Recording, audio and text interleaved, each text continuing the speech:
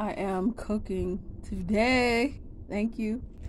Okay, so what we have today is it's kind of Thai food. We have a lemon, and we have a special pepper, and this is salad that I mixed up, and I made a vinaigrette for it. So it's just lemon juice and tomatillo, just the juice of a tomatillo and lemon juice.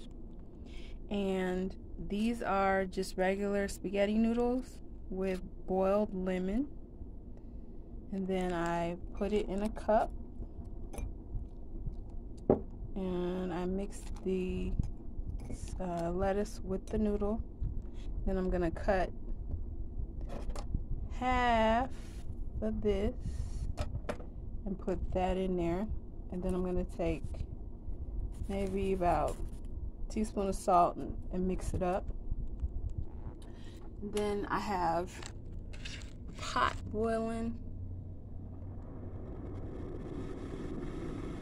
So I'm going to take the pot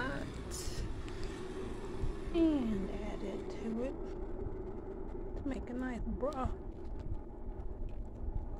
There we go. And that's all that I'm doing. Okay?